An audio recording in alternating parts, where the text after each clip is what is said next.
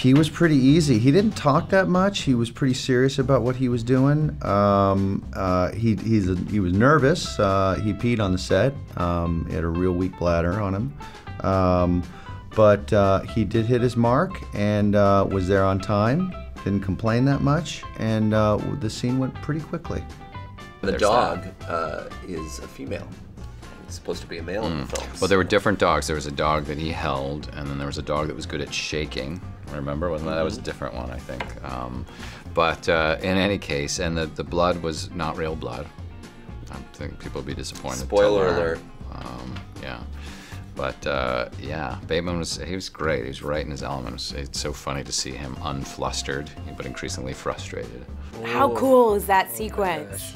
Yeah, that was that was highly choreographed. Yeah, it took us some time. It was like learning a dance. Oh, Yeah. for sure. Even though I'm really good at dance, you know, the art of Show us one move right now.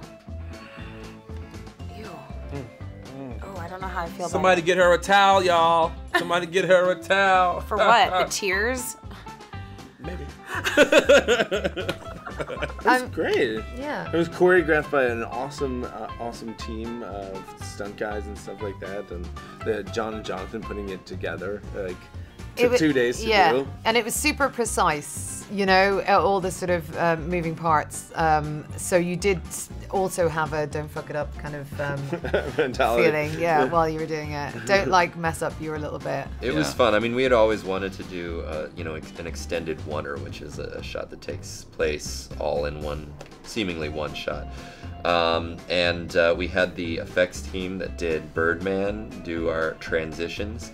There were six Uh, pieces cut into Yeah, one long shot. it wasn't shot. an actual oneer. But what was crazy was that it was shot out of order. Um, it wasn't actually in sequence because there were certain actors that needed to be uh, on we a won't plane. we won't name names. Sharon Horgan. Sharon Horgan. Uh, so it made it especially difficult to kind of uh, tie the two shots together without it looking like they took place over different days. Thanks.